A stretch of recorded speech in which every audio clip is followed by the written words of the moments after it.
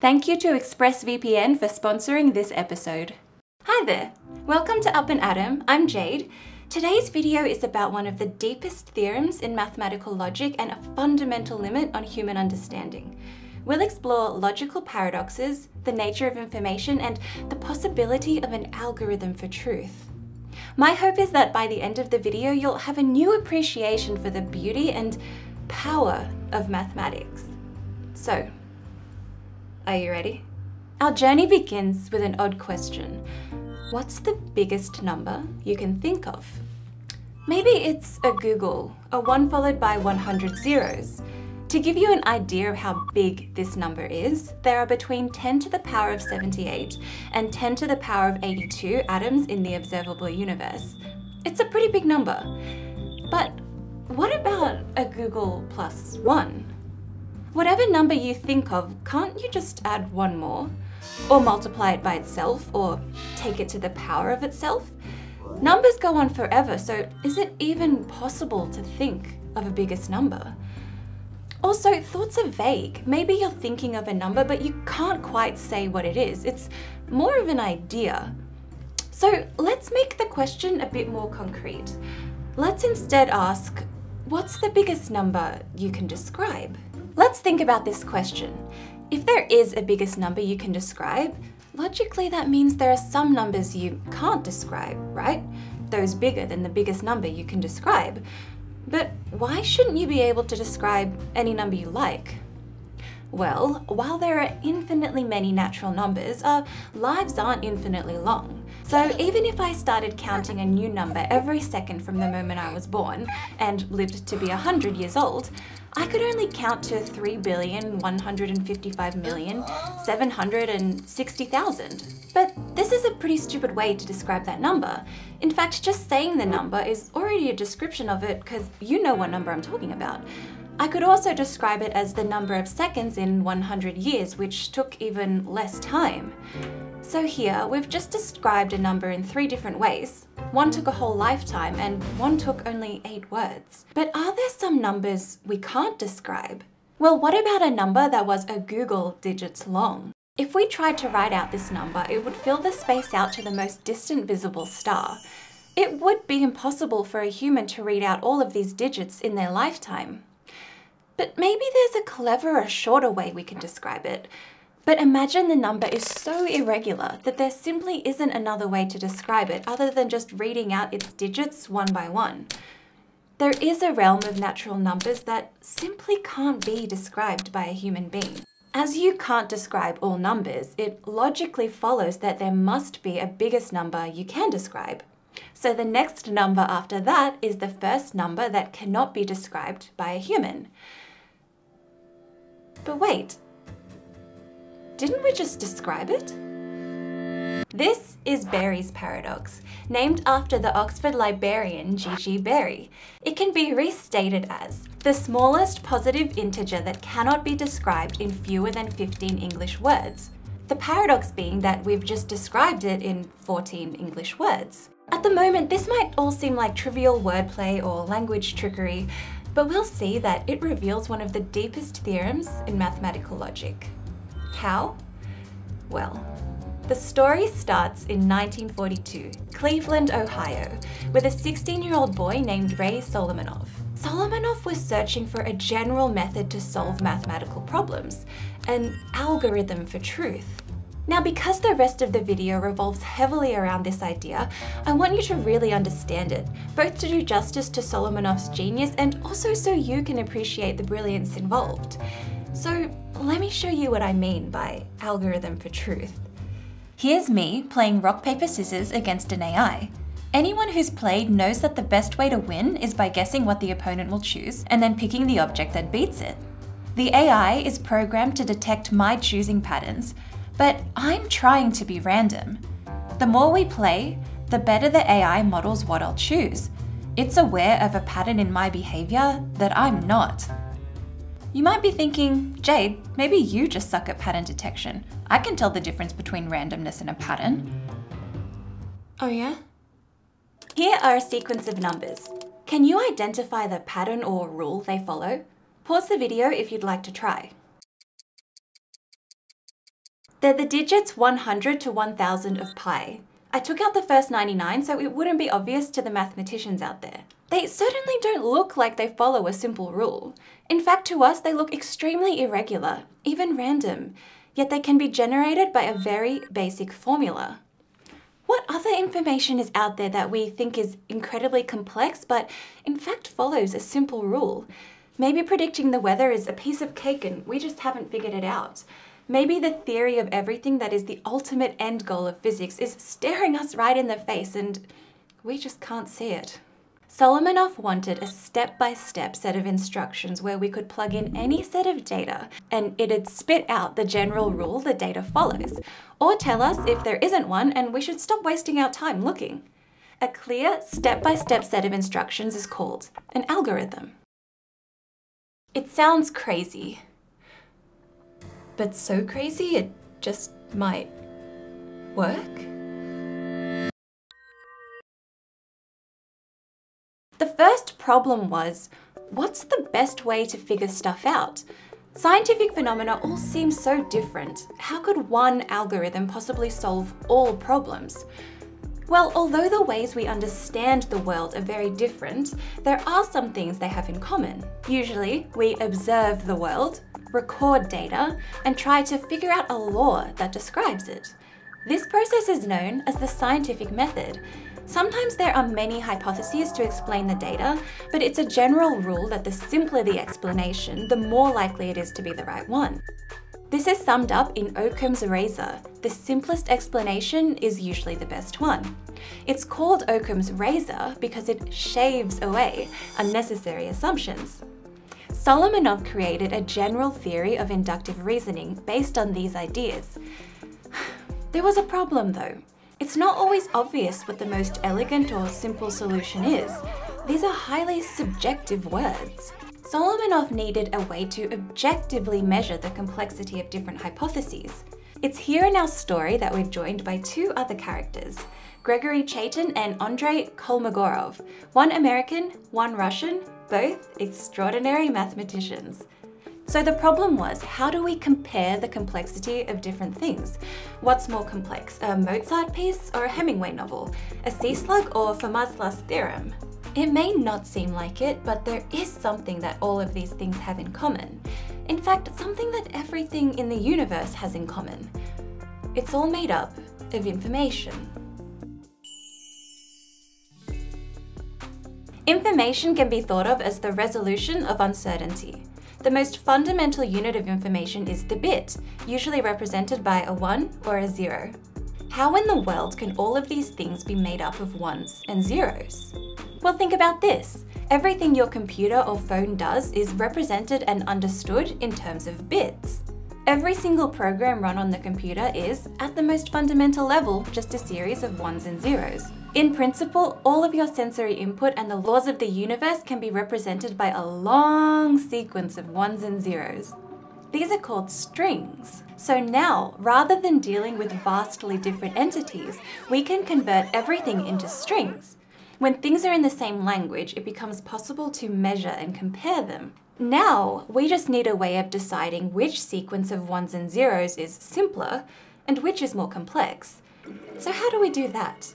Well, let me ask you, of these two strings, which do you think is simpler and which do you think is more complex? A good place to start might be asking, which is easier to describe? The first string is just the digits 1, 0 repeated 25 times. We can program a computer to print it by giving it the instructions or algorithm, print 10 times 25, stop. Of course, the exact phrasing will depend on the programming language, but you get the idea. So some strings can be described in ways shorter than writing out the whole string, just like some numbers can be described in ways shorter than saying every single digit. But how about this string? There doesn't seem to be an obvious way to tell the computer to print it other than literally saying print, then naming every single digit, stop. Now, let's remember what these ones and zeros represent. They're the basic unit of information, and information is the resolution of uncertainty. So the more information needed to describe something, the more uncertainty it had to begin with, right? the less bits it needs, the less uncertainty it had to begin with. I think it's pretty intuitive to say that the less uncertainty something has, the simpler it is. Don't you? This is what our team thought too, and they defined the measure of complexity of an object to be the number of bits needed to describe it. In other words, the longer the string, the more complex it is. Compacting strings into shorter strings is called data compression. But we don't want just any shorter string. We want the shortest string. The expression isn't any simpler explanation is usually the best one. It's the simplest explanation is usually the best one. The shortest possible string used to describe an object is called the Kolmogorov complexity of that object. So here we see that Solomonoff's goal of an algorithm for truth is the same thing as programming a computer to tell us the Kolmogorov complexity of any string. Before we go on, I just wanted to pause for a sec to take a moment to appreciate the enormity of what's been done here. We've basically boiled all of the scientific method down to the art of data compression.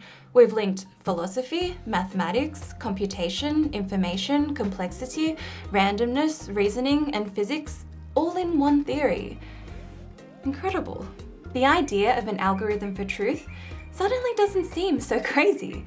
But finding the shortest string is not an obvious task. Just like with numbers, there are many ways to describe a string.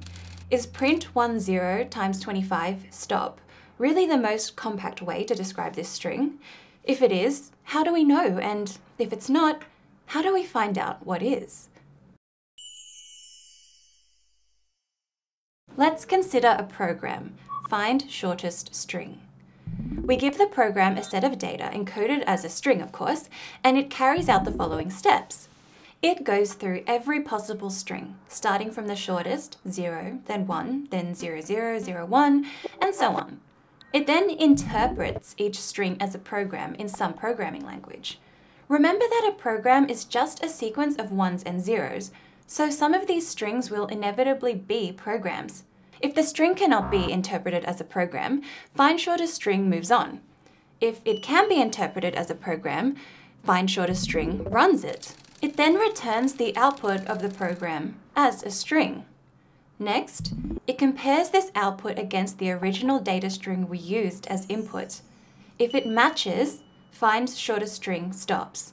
If it doesn't match, it moves on to the next string in the list. This would be a pretty good candidate for an algorithm for truth. For example, let's pretend we don't know what this sequence of numbers is and use it as input into find shortest string. So we want find shortest string to return to us the rule that generates this data. So it starts going through every possible string, interpreting them as programs and returning their output. At some point, it will encounter the string which represents the formula for pi. Find shortest string will interpret it and run it as a program, and its output will be the digits of pi encoded as a string. So of course, when we compare it to our input string, it will match, and find shortest string will terminate, having found the string which best describes the input data. Because we're starting from the shortest string and going through in increasing order, it will be the shortest string that describes the input data, We've computed the Kolmogorov complexity. We'd have our algorithm for truth. Hallelujah! But wait, there are still loads of unsolved problems. Scientists are still employed all over the world. Maybe in our excitement, we've overlooked something. All programs are made of a finite number of bits. So let's say find shortest string is made of 100 bits. Now consider another program. Berry's paradox, made of 40 bits. We give Berry's paradox a number m as input, and you must return the first string that cannot be described in less than m bits. So say we give it the number 150. The task of the Berry's paradox program is to find the first string which can't be described in less than 150 bits. This is pretty easy if we use the help of find shortest string. Berry's paradox goes through all strings in order and feeds them to find shortest string. The first time find shortest string returns a string larger than 150 bits long means the input that was given to find shortest string is the first string that cannot be described in less than 150 bits. Berry's paradox returns that string. But wait, there's a slight problem. Have you spotted it? We just described the first string that can't be described in fewer than 150 bits using only 140 bits. This is a contradiction. If the program find shortest string was computable, it would produce countless contradictions, just like this one. If we were to actually run this program, it would loop forever, never giving us an answer. It doesn't matter how big the programs are, billions, even trillions of bits, there will always be a string of longer length, and so there will always be room for the contradiction. Kolmogorov complexity is uncomputable. Solomonoff's algorithm for truth is impossible. It's not that we haven't found it yet or that we're not clever enough. It's proven to be impossible. This may have been a blow to Solomonoff, who worked his entire life on this idea, but you know, if old Solomonoff could go back in time and tell young Solomonoff not to bother with a fruitless endeavor, I don't think he would have. This search led to the field of algorithmic information theory, the study of information, computation, complexity, and randomness.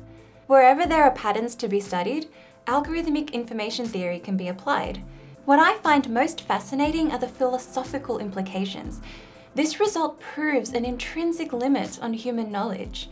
It also shows so beautifully that where philosophy can ask the questions, mathematics can answer.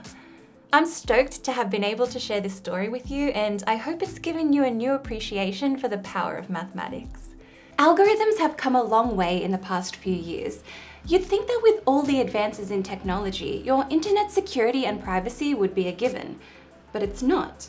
By default, your internet service provider can see every single site that you visit, even in incognito mode or when you clear your browsing history. They are legally allowed to sell all your data to advertisers and companies for profit, but you can protect yourself with ExpressVPN.